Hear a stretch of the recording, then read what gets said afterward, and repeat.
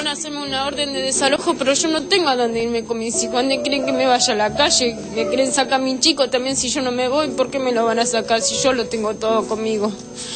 ¿Cuántos chicos tienes? Ocho. Para ellos es todo fácil, pero si me sacan mis hijos, ¿qué me lo va a criar? Yo quiero estar con ellos. Yo no me voy a ir de acá, de acá no me voy a mover. ¿Cuánto tiempo tiene, señora? ¿Cuánto Para mañana a la tarde. Tiene dónde ir, ¿verdad? No, no, porque he ido a todos lados que me den una ayuda, a la municipalidad, a todos lados y nadie me quiere dar ayuda de nada. Yo de acá no me voy a mover, así que... Son todos chiquitos, ellos donde quieren que me vaya. Son muy chiquititos. Sí. Sí, además ella no la quiere la casa, porque si ella la quisiera, no...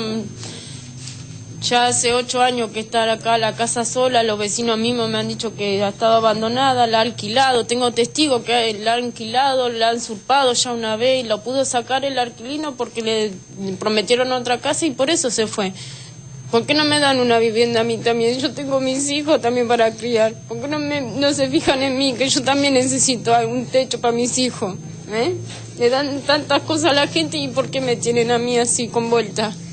¿Ha sido la municipalidad? Sí, he ido a todos lados y siempre me dicen no tengo ayuda, no tengo nada. Lo único que me dicen un alquiler, pero yo le digo un alquiler y le digo cuántos chicos tienen y me cierran la puerta. Porque dicen que la casa se la van a destrozar si me dan alquiler. Nadie me quiere dar ayuda, de ningún lado. El alquiler es por cuatro meses nada más que le ayuda a la municipalidad.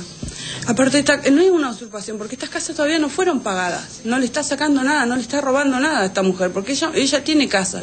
Ella vive en Castelli, en los monoblocks, en el departamento 12, hace ocho años, y esta casa la usa para alquilar. Insisto, las Pure. No, no, no, se, no es una usurpación, porque no está pagada esta casa. Si ella se queda, Patricia la va a tener que pagar. Porque este, no- el instituto nos dio las casas y todavía no nos llegaron chequeras, nada. Así que ella es tan dueña como ella, porque no tiene nada pagado. Y siempre la usó para alquilar. eh, siempre se alquiló esta casa. Y no es, estas casas son para la gente que vivía en Villanocito, única vivienda, no tenés que tener casa. Y ella, bueno, no importa que tenga una sola hija, pero ella tiene una sola hija, tiene otra casa. Y eso todo se puede comprobar. Lo que pasa es que nadie quiere eh, moverse. Patricia, vos estás solita con ellos, ¿no? Sí, por ahora ¿Trabajo sí. tenés? No.